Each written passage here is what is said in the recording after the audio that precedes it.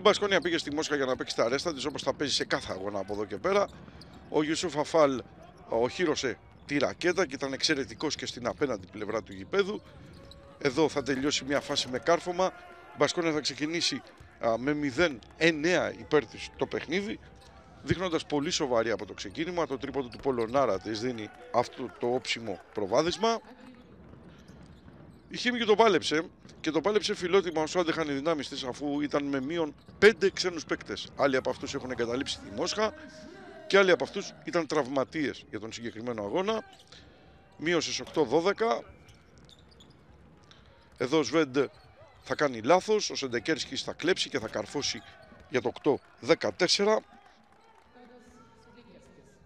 Το τελείωμα της πρώτης περίοδου θα βρει τους Βάσκους να προηγούνται με 14-24 μετά από τριπλή προσπάθεια του πισματάρι Ζόραν Ντράγκητς. Εδώ.